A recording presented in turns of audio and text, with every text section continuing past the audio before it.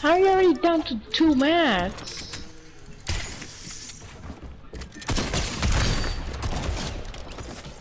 That guy's fucking dumb.